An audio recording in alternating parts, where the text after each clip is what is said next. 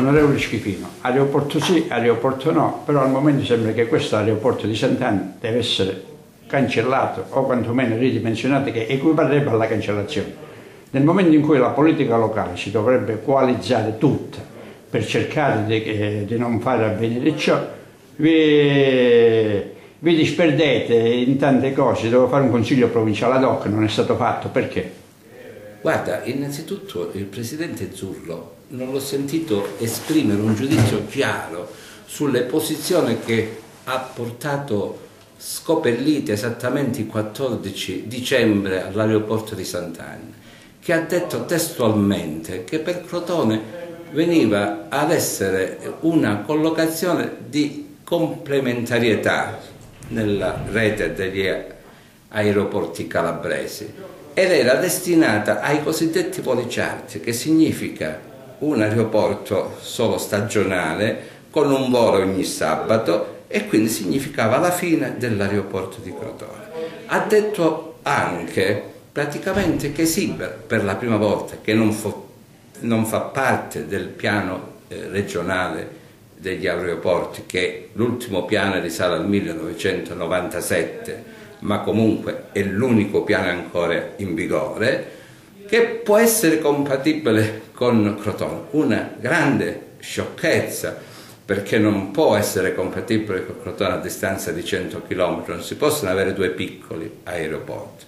Non solo, ma fatti riferimento anche all'aeroporto di Olbia, dicendo che Crotone poteva fare quello che fa Olbia. Olbia, come lei sa, è un aeroporto internazionale del turismo ed è l'aeroporto della Costa Smeralda, tant'è vero che fa parte di quei dieci uh, aeroporti che in questo piano Passera, che poi in realtà era un piano fatto dal governo Berlusconi, che è solo uno studio, verrebbe salvata proprio per l'importanza che ha Olbia a livello internazionale, mica a Crotone. Quindi... Ma adesso voi, eh, perché, tutto il discorso, perché a Crotone non si sta prendendo una presa di posizione per salvare l'aeroporto? Perché la, eh, i rappresentanti locali di, questo, uh, di questa maggioranza di centrodestra, di centrodestra fanno due giochi a seconda dove ci si gioca.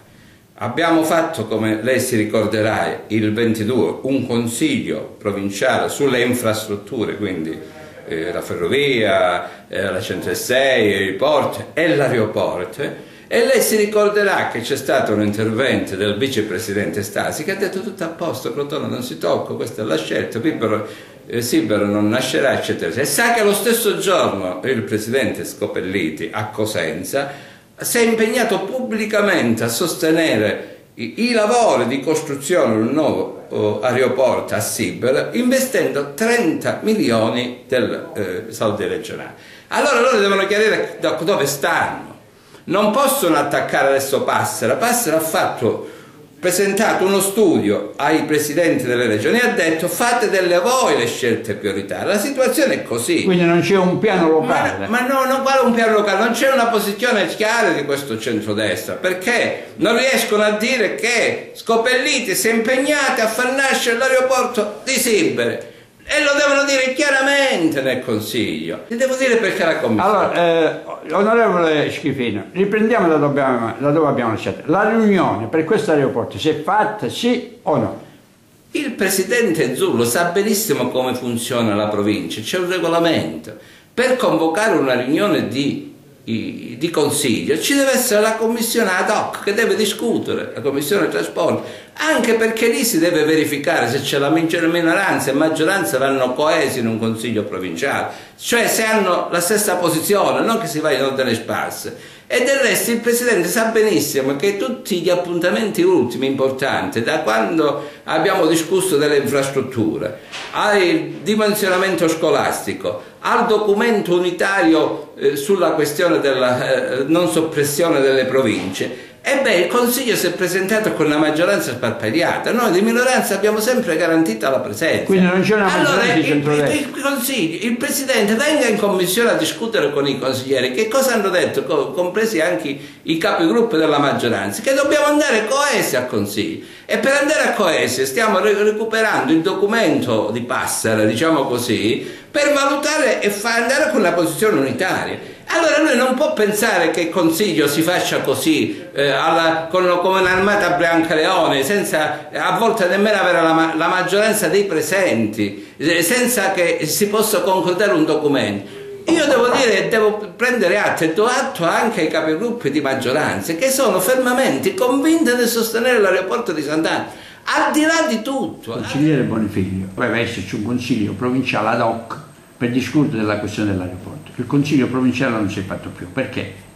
Ma intanto il consiglio provinciale non è che non si è fatto, il consiglio provinciale si farà nei prossimi giorni in quanto i capigruppo, tutti i capigruppo, maggioranza e minoranza, all'unanimità abbiamo deciso di approfondire questa tematica del, del declassamento dell'aeroporto Sant'Anna perché insieme ad altri problemi che assillano il nostro, il nostro territorio, la nostra provincia, perché noi siamo isolati, così come la, le ferrovie e così come la rete stradale fa acqua da tutte le parti, cominciando dalla nostra provincia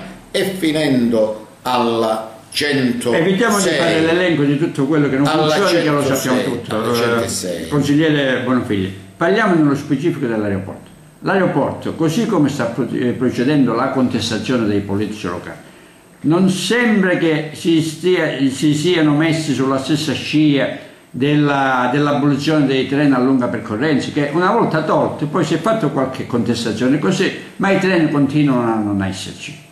No, io penso che la questione dell'aeroporto è, è, un problema diverso perché è, è, un problema nazionale che riguarda tutti i tipi di aeroporto come, come Crotoni che verrebbero declassati, verrebbero declassati. E proprio per questo noi vogliamo far sì che questo non avvenga proprio parlando della, delle altre carenze, perché sembra che l'unico appiglio che eh, noi possiamo avere come provincia, come provincia di Crotone. E vogliamo vedere da che parte sta la deputazione nazionale e la deputazione regionale perché a mio avviso è molto, è molto importante il loro, il loro parere perché non possiamo pensare di aprire altri aeroporti anche se